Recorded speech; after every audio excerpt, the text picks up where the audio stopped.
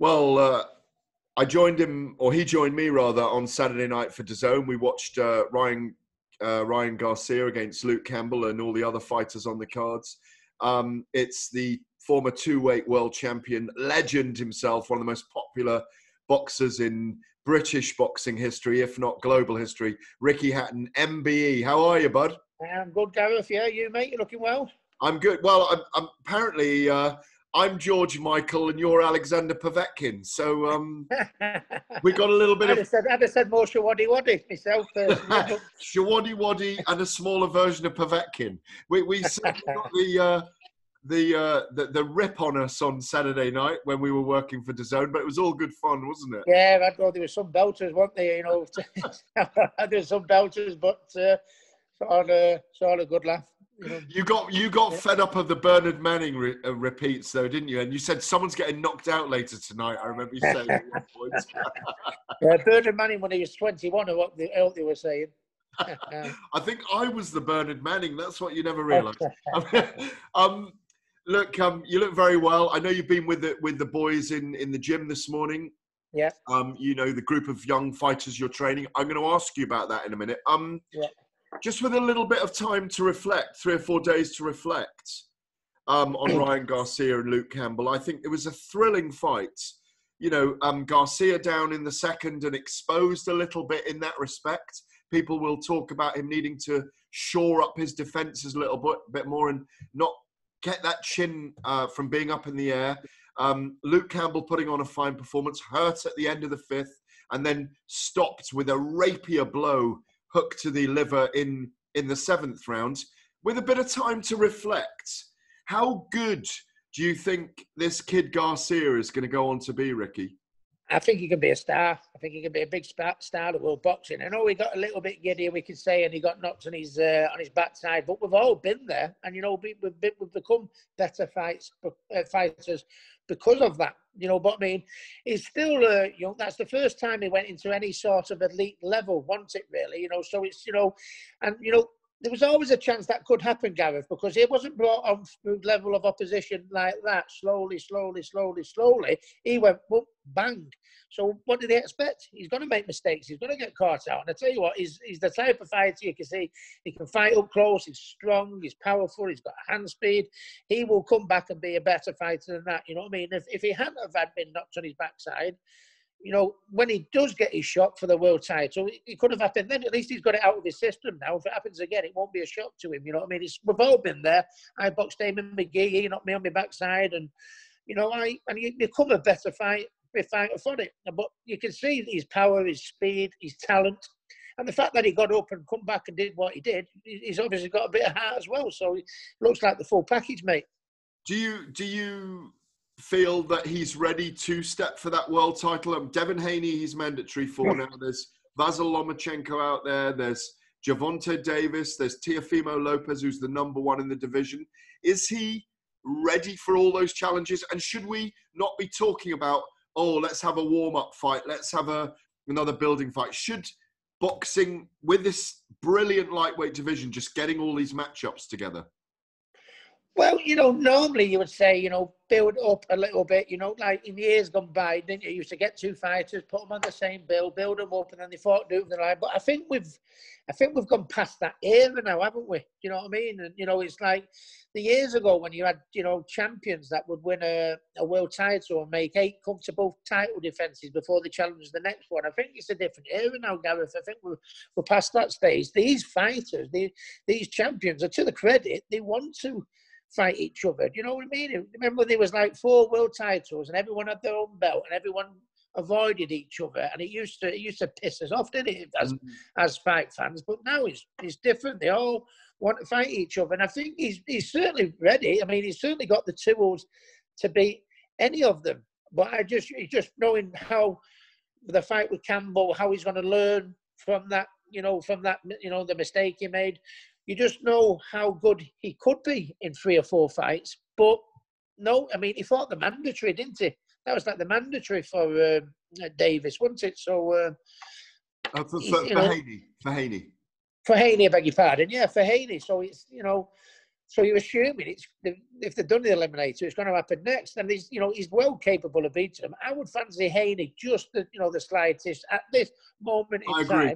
I But agree. if he had, if he had, if he had like a few years ago, where you could have just maybe them two or three fights, just them two or three fights, learning fights, and then went for him, I think he would probably beat him then. But at the minute, I think it might just be a bit too soon. But hey, listen, you know, these these these fighters these days, they all want to fight each other, and that Garcia is certainly not short of heart, is he? So. Uh, I, I I think you could see it happen. It wouldn't surprise me if he did beat him. I would just pick Haney ever so slightly at the minute. I completely agree with you because he's so fast and his boxing skills are extraordinary. The other thing Yeah. about Garcia, given that he's now got 8 million Instagram followers, he's a target for them all because he's so popular. He brings Yeah. numbers to the sport. Yeah, I mean, he, he doesn't need building up from a promotional point of view or anything like that. Just two or three fights, not to build his popularity. Two or three fights just to build his technique and his and his knowledge and his, his boxing um, IQ, if you like. But uh, no, he's. I mean, and I believe he got two hundred thousand more followers. You know, on top of what he, he already had through that, and that's the that's the world we live in now. And I think the good thing is about you know boxing. I know we, we, we have a little bit of a moan sometimes that, you know, fights are made at catch weights and, you know, this catch sports and, you know, YouTubers are coming in and everything like that. But actual our sport of boxing, with all the, the legitimate world champions, whether it be from heavyweight, you know, or whatever, they all want to fight each other and they never did these days. So the, the YouTubers and all them can do their, their own thing. But we're talking about, I mean, the actual sport of, of, of boxing, I think it's in a good place for the reason, for the reason why the champions are all fighting unification matches. I've never seen as many more unification matches made as lately. It's brilliant. Absolutely. Um, Luke Campbell, do you think he'll take a little bit of time out? He's obviously, as he said, there were some lovely moments afterwards that we saw where he's joined uh, Cam, um, Garcia's family and they've let things go and they've hugged it out and it's lovely. He got home, he's put pictures of his boys. It's lovely to be home. Do you suspect Luke will have a little bit of time and then have maybe one or two more fights? I'd like to see the Linares rematch, by the way. Um, Yeah, well- kind of fight I'd like to see him in.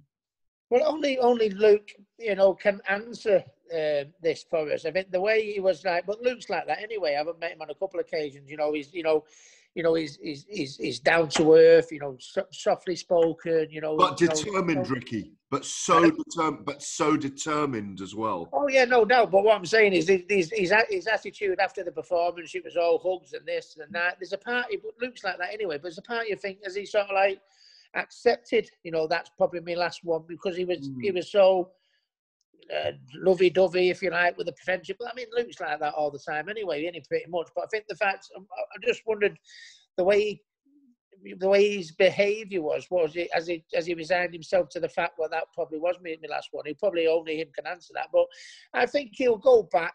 Um, I think he'll go back, spend time with the family, time with the kids, and just make his mind up. You know, and if he feels he's got that urge again, he might have a rematch with uh, Linares. But if you look what he's done from Olympic gold medal, all them amateur, you know, you know titles that he won as an amateur boxing for England.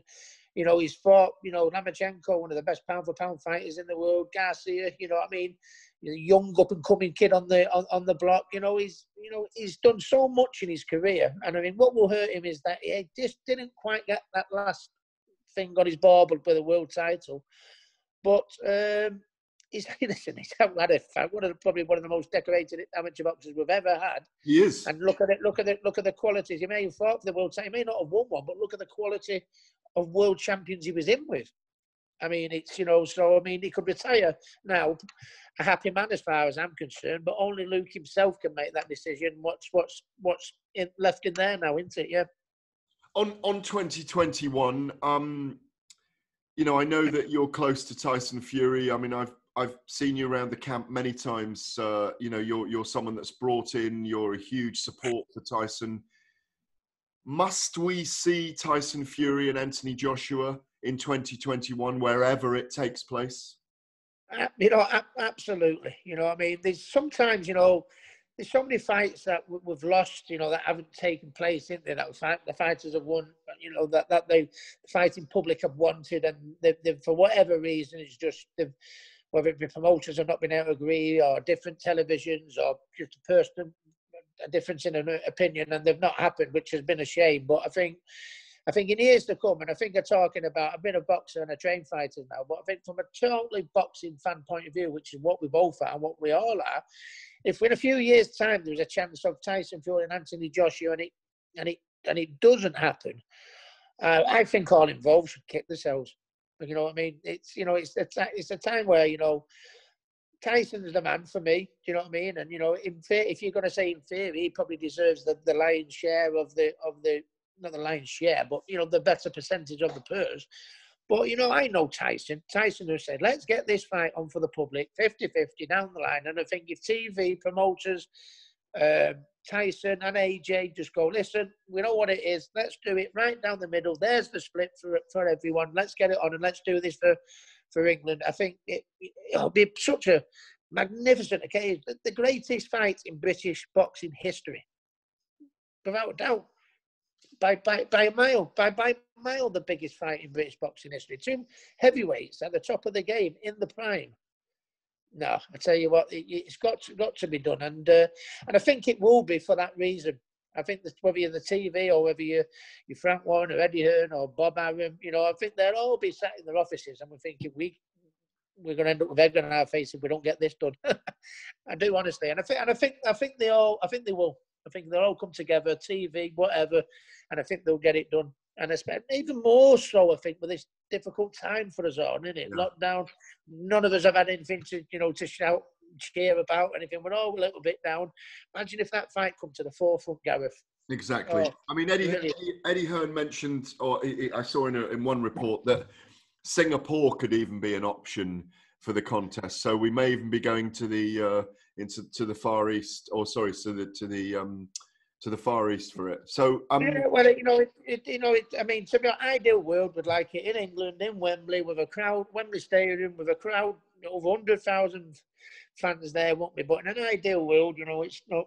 But if it's still got to be made to happen, you know what I mean? And if it does, yeah. wow, what what a what an unbelievable because you know, I, I, repeat myself a lot sometimes, but a few years ago, when you remember the British heavyweight scene, even in Britain, it was, uh, you know, no disrespect to anyone who was around at the time, but it was dire. It was terrible.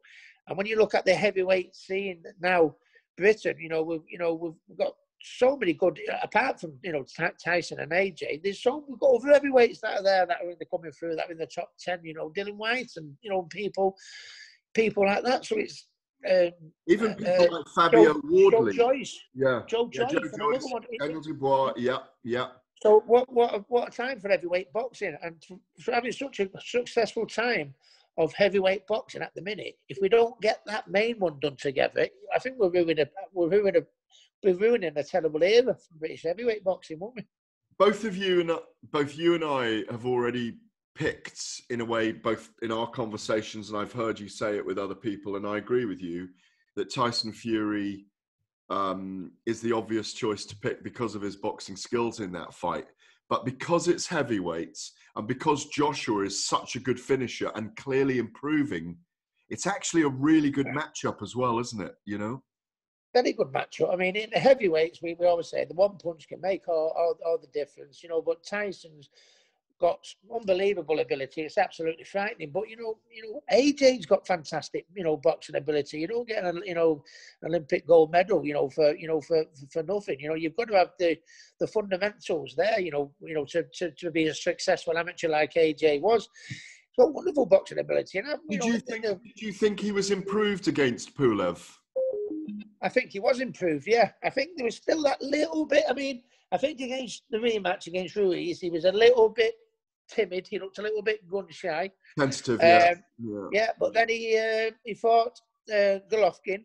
Uh, uh, uh, he fought Povetkin, I beg your pardon, you know, and he was a little bit better again. You know what I mean? You, you know, once you've been knocked out, when I got beat, beat by uh, Mayweather, Mayweather, it takes you a while to get your confidence back. You know, I mean, yeah. the first time you've ever been knocked out. I mean, I fought a guy called Juan Lazcano at, the City of Manchester Stadium when I got beat by um, um, Mayweather, and every time he wasn't a massive puncher, but every time he hit me, I don't know whether it was in my own mind or anything like that. I was wobbling. I was, I was like an MFI wardrobe. I was all over the place.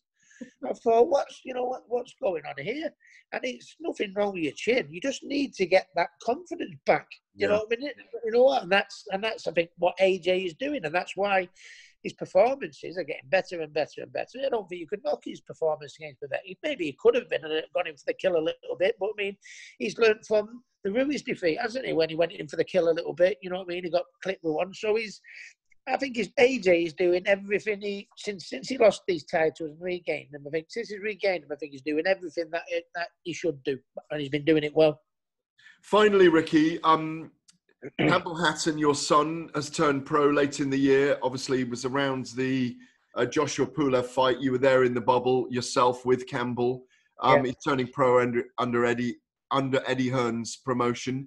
When's he likely to make his starts, and how do you feel about that? And secondly, tell us about you've got a group of really talented youngsters around you. I've met a few of them when I was up last time with you. Tell us about that and how you feel about Campbell and when you think he'll turn pro. Yeah, well, the, the, Eddie mentioned uh, middle of February, you know, for, for Campbell, and I'm hoping that's going to be the same. But because of the recent national full lockdown, you know, that that's taken place, and the rules have been uh, the rules of the game have been changed again, isn't it? And I, I, think, if I remember off the top of my head, is it you know the border control aren't allowing any shows to go ahead in January? I think. Correct.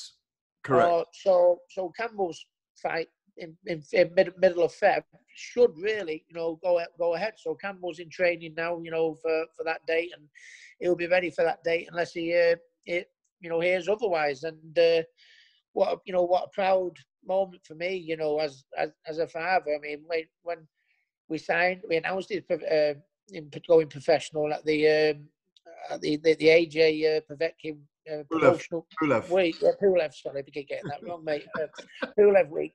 It was it was unbelievable. Like the job that Matchroom did, you know, the drum they banged for him, you know, and everything like that. And uh, it only seems like yesterday I was signing my professional papers, and then you know, there me uh, my son is. But uh, I think people are gonna gonna love him at the minute. You know, at the end of the day, it doesn't matter what his dad does. He's got to do that you know that will, he's very quick-witted isn't he? I found him very quick-witted um well, and he's live people, wire isn't he you know? Yeah but a few, few people turn around and say you know he's uh, he said he always in trying to be like his dad a little bit. I used, I used to think you fucking idiots. What do you mean he's trying to be like my dad? Look at him. He is, he is dad. He looks like me. He talks like me.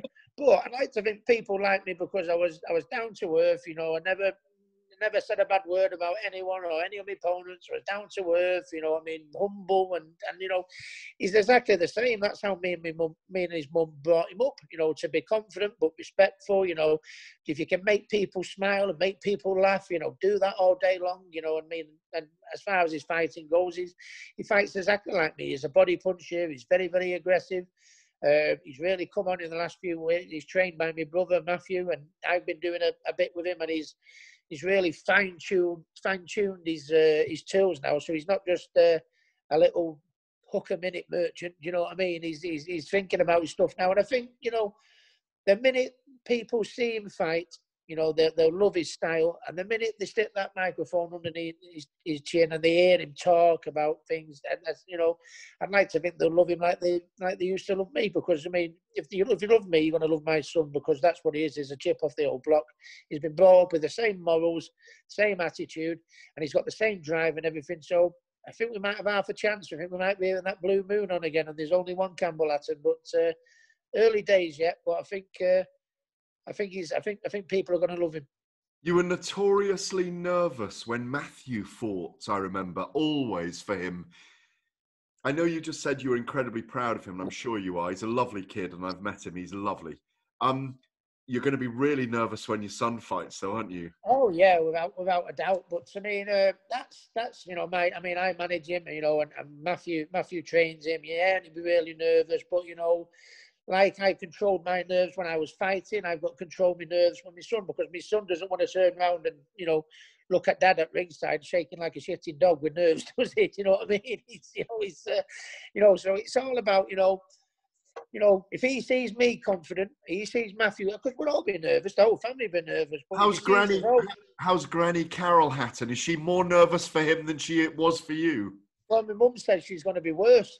To be honest with you, so I don't think that was physically possible to to be to yeah. be honest with you. But uh, but no, it's um, and you know Campbell's mum. You know you, you should see Campbell's mum Claire at the at at, camp, at her fights, you know, I, you look across, think straight in your face if he sees you. He won't, he'll jump out the ring, never mind jump in the ring. But no, I mean, when it's someone you love, it is very, very hard. But, you know, the family's been there with me, the family's been there with Matthew, and we're going to be there with Campbell, and we'd certainly know how to handle it. You know, it is what it is. But, uh, He's got the great opportunity. He's got a great team behind him. He's got me and Matthew behind him from that boxing knowledge and perspective. He's got a great family behind him. You know what I mean? And uh, you know, the only thing, you know, he's got the best opportunity there to do it. All, all he's got to go out there now, dedicate himself, work hard, and prove it, prove it yourself with them because we can't help you when it, when you get in that ring. We can help you so much, but when you get in that ring, you've got to do it, and I think you will.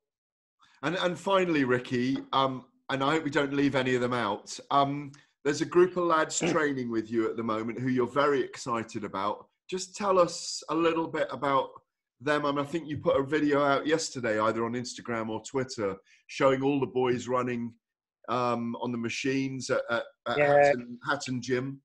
Well, they just started back. We're very fortunate that we're able to be, you know, it's like elite athletes in it. So I'm still able to train with professional boxers. But yeah, I've got, uh, you know, good prospects of, of, of kids uh, coming coming through. I know, I, I, you know, a few years ago, I um, I trained Zhanat Zhakiyanov, who became world bantamweight super champion, and, and Sergey Rabchenko, and, and, and Ryan Burnett. The Europeans, and, and Ryan, Ryan Burnett, Burnett was there. Yeah. In, the, in the early stages, I trained Ryan Burnett. So, uh, but you know, at the minute, I've just got little prospects. You won't have heard of him yet, but the, you will have heard, be hearing of him in a, in a few years. I've got an Irish lad called Brett McGinty, who uh, won uh, lots of national titles. You know, representing his country for Ireland as a you know as as a in, as a youth. Uh, he's one unbeaten as a, a professional. Uh, I've got Ibrahim Nadim, who's a former ABA champion. He's come from the Bury ABC Boxing Club, who's very, very talented. Uh, he's two unbeaten. Uh, also, me, uh, we've got Brad Rea, who's uh, nine unbeaten, and it's a shame because uh, me and Brad's trainer Blaine, we we work together. Me and Blaine Younis, you know, with, with the lads in the gym.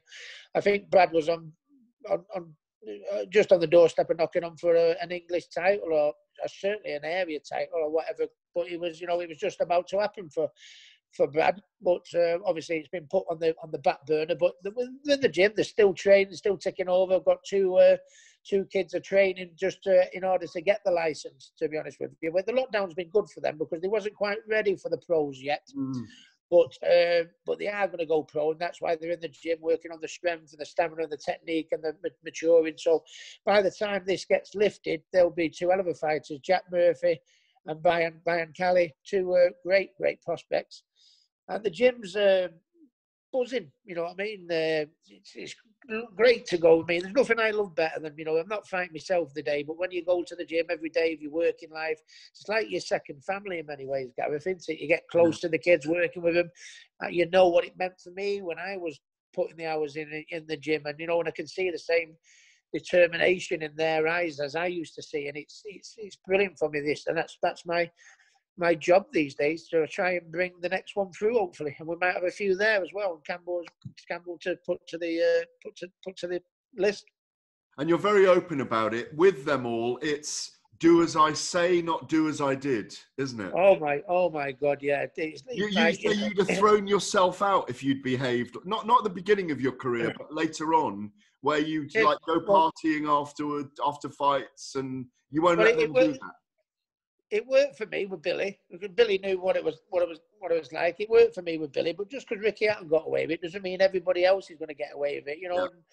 there's a couple of people I've heard that a couple of kids sometimes have said, "Well, Ricky Hatton did it," you know, and uh, it makes me not makes me oh makes me cringe so much that I think kids are thinking because I got away with ballooning up, you know, that they can get away with ballooning up. It's not the way forward. I tell you, it's you know, I was a freak. I was a one off, and I got away with it. And I was very very lucky. I got away with it as long as I did. But I had a good trainer and a good nutritionist behind me. But I I weigh all my lads before the before the, the training session. I weigh them after the training session. They have the fight. I say right, you can have a week off, but when you come back, I don't want you to put any more than five or six or four or five, six pounds, you know, and that's the way you come in. If you're coming overweight, you're in trouble, you know. Oh, the dictator, the, Ricky the dictator Hatton now then, yeah? Yeah, yeah, and that's the way it's that's that, that's the that's the way it's got to be. I mean, I wouldn't have changed anything for the for the world because that's why my following comes from because there was a little bit of a scallywag, Jack the lad, you know, and I think that's why people love me. But now my son's in the game, and I'm training lads, and I'm trying to. They're putting their future in my hands to look after their future in my hands. So you know, no, don't don't go down the Ricky way. Like you say, do as I say, not do as I say, not as I did.